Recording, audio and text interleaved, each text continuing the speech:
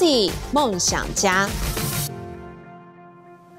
好，继续我们的 IC 梦想家，我是蓝轩啊。现场邀请到的是财经专家黄世聪啊。我们在聊呢，到底现在这些产业的布局突然之间出现了一个非常大的啊这个风向的转变，就是刚才讲到的，就是元宇宙本来是在过去这一两年间，就是感觉到大家好像引颈期盼，是是但是呢，就听到楼梯响，半天人也没下来，然后呢，佐克伯搞的那个元宇宙几个娃娃看起来很挫，真的是很 挫，是。但是 AI 坦白讲 AI 的这个楼梯响也想很久了啦，想了一二十年。是，但这一次似乎呢，真的是人从楼梯上面走走下来了，对它的应用越来越接近我们的真实生活。对我想这是为什么大家觉得哎非常眼睛一亮的关系嘛啊。好，那就从这个角度讲，如果说 AI 真的在这个时候要大爆发了，台湾的 AI 真的有产业吗？对，我觉得事实上 AI 人工智能过去一段时间，可能大家都会印象这个印象比较模糊一点点，但其实它已经在各个领域就出现了。比如我举个例子，在乌克兰俄乌战场上面来说，这个大家都用无人机机，无人机就是基本上就是一种 AI，或者说在战场管理方面来说，基本上也是用 AI 去运算。比如说，哎，我怎么去布阵啊？现在现在其实，在战场上面的管理，或者说后勤的管理，它其实用到很大量的 AI 人工智能去运算。嗯，那如果在产业界里面来说，譬如说我举个很简单的例子，台积电。台积电它也用了非常多的 AI 运算，那你想说是什么意思？因为我们台积电一天要生产数万片晶片，然后它怎么去排序？因为台积电的产能有时候可以盯到一百趴或者一百二十趴，那台积电同时要生产线上要生产一千多种产品，我怎么样把它排的？排序哎，今天这个生产完再生产这个，生产在这个这样排序可以排得更好更有效率。对，嗯那这个数据 data 怎么输入？那我怎么做成？那都是累积大量的 AI 数据。比如说我举个例子，像红海公司，红海的模组基本上过去很多，比如说我们我们不要想看说，哎，做一只手机，你手机里面机械你要用怎样的角度什么，那其实都有很多数据，大量的 data，可能过去就是用一些这个我用大数据把它整理起来，但是现在有 AI 人工智能，我可以运算预测，那就是你有 data 就会有新的应用，所以才说会越来越多，就在这样。过去可能你觉得它应用的层面没有很广，但是我那都在产业、在军事战场上面，在个别领域，譬如说像很多人在现在可能有人会开这个自驾电动车电动车，电动车也算。对电动车的某些程度的 level two、level three 的、那些跟 AI 人工智能也都有一点相关，所以我才说这个其实慢慢在爆发，只是说它跟我们日常生活没有那么贴近。那因为刚好 ChatGPT 就是我们日常生活用的，所以你觉得哎、好像突然就爆发，其实它是一个累积一直非常久的一个一个状况。那具体而言会带动什么样的产业？我必须讲啊，台湾在整个终端产品，譬如说软体啦，或是终端产品的研发，我觉得我们没有那个能力。嗯，我们的软体真的好像比较弱。对，因为我们市场小，我们没有那些众多的 data，我们可以累积那些东西，我们没有办法。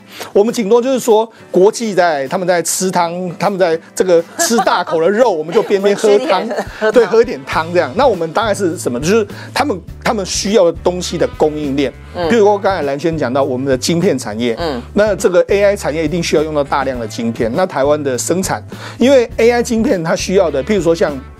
这个这个所谓的 NVIDIA，或者说像这个战场上面用的 AI，或者说像特斯拉用的 AI，、这些都是要用到比较先进的制程。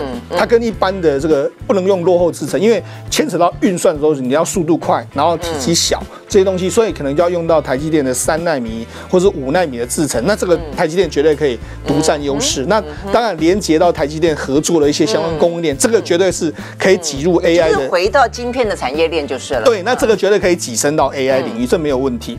那另外一块就是，因为你在整个运算的过程里面，你需要有大量的储存地方。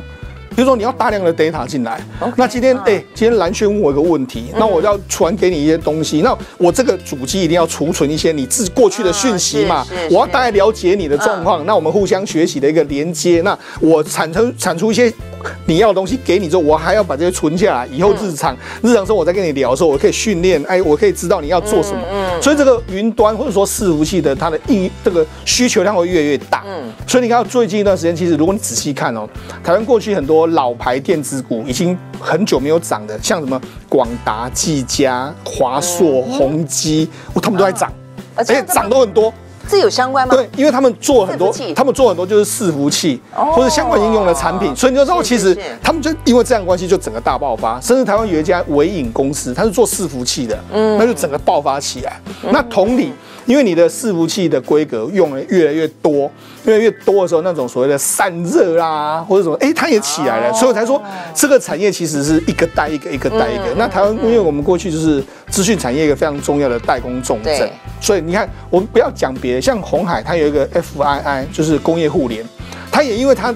搭上了这个这个所谓 ChatGPT，因为它有做一些伺服器，嗯。它有在海外做伺服器，它有在中国做伺服器，嗯。就它最近一段时间股价在中国大陆市场涨了八九成，嗯。甚至它的市值工业互联市值还赢过红海。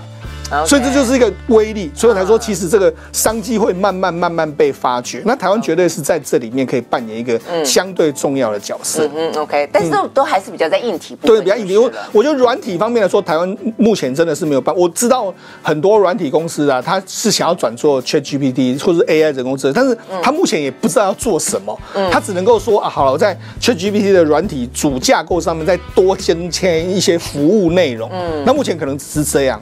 那未来会不会有更多的不一样的东西？我们就拭目以待了。对，因为我看到最近有在讨论说，比方说现在有些职场上面已经需要一些帮你去训练 Chat GPT 的一些。下指令的工程师，没错。那搞不好这方面的一些 AI 的软体的人才，搞不好可以。对啦，那因为因为或许说中文的界面可能是台湾可以做，对，这个这个或许会有机会，但是我觉得这个还是比较偏向后面的一些相关的应用。OK，好。不过刚才这个师彤特别讲到说呢，其实跟呃这个人工智慧有关的话，就已经讲到像是电动车。对，电动车其实在过去这呃一年多两年，其实台湾这方面的话呢，也有一些发展，是包括像红海跟那个呃玉龙，对玉龙共同合作，所以。呃，电动车也可以算是现在现阶段，本来就已经有点发展，那加上 AI 更进一步的，它会再进一步的爆发。对对，我觉得这个其实电动车跟 AI 结合起来就是自驾车。对，所以我觉得这是下一个阶段。那现以现在来讲的话，今年的根据一般的这个统计数字来说，整个电动车占整个车的市场应该可以达到十五趴。十五趴呢是什么意思呢？那就是所谓的很多人就形容说它是个 iPhone 时刻。就是过去呢，我们在用传统的手机的时候，哎，iPhone 有一天它的市占率来到十五趴之后，那个智能手机开始爆发，iPhone 就开始大翻转。它其实就是那个时间点，大概是约莫占占比十五趴左右。现在就是这个时间点，所以在未来可能在几年的时间，我们可以看到那种电动电动车的这个需求，或是它整个产值会快速的大爆发起来。你可以看到最近。我们不要讲别人，你看这个这个 Toyota 丰田。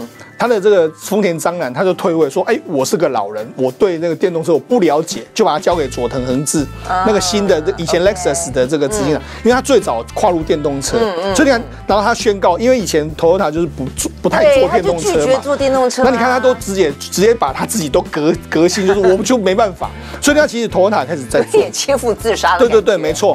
那另外包括说像福斯，福斯也是一样，福斯过去它是燃油车第二，他现在也说，我在未来三五年。我要全部。不做燃油车，嗯，所以这个可能这些传统车厂的决心来了，福特各式各样的车厂都来，所以跟欧盟的规定也有关系。对，当然，因为欧盟可能有些国家二零二零三零年开始就要开始没错淘汰淘汰的，所以你就知道这个时间点非常紧迫，所以各国都一定会这样做。所以这毫无疑问，电动车一定是个大商机。嗯，所以你看，其实台湾或者说美国、中国或者说日本各国都是这样。那当然，下个领域就是所谓的 AI 人工智慧结合起来就是自驾车。嗯，那自驾车目前为止来说的话，大概最快最快发展最快，哎，大家都以为是特斯拉，对其实最早落地生根的是宾士。哦，是宾士吗？宾士它现在有一款车呢，是 Level 三的自驾车。嗯，它现在可以在美国，还可以在欧洲部分地方可以使用，因为它通已经通过了美国的这个道路安全管理局的核可。那 Level 三是什么意思呢？Level 三就是你可以。开车的时候，你可以把手放开，嗯，你可以自己喝杯饮料或者是干嘛什么之类的。那必要时候，你还是可以掌握。它其实允许你这样做。以前我们在路道路上，你看到别人这样做，其实那都是违法的。嗯嗯嗯。对，那但是它是真正合法的 Level 三的一个试驾，所以你可以到，自它已经 Level 三已经来了。然后如果再到 Level 四到 Level Level，就是完全你可以可以在里面睡觉，什么干什么都没关系，你不理它都可以，不用盯着它。对对，那是完全这样。所以呢，事实上这个时间点比大家想象中更快。那这个所谓 le 你要达到 level 三呢，你要有非常大量的 AI 的判读能力，嗯，因为它就是收集所有道路上的资讯。你看我们每天如果我们在开车的时候，哎，我们看的东西很多啊，嗯，那你要输到你要输到这个电这个车用电脑里面快速判断，那个 AI 处理能力一定要相当的强。嗯。所以这个一定是两个结合在一起，所以我才说这个很多很多科技看起来是不相干，其实他们最后会混流为一会汇，聚在到一起，对，汇聚在一起，然后会嗯。产生出新的这个商机会出来。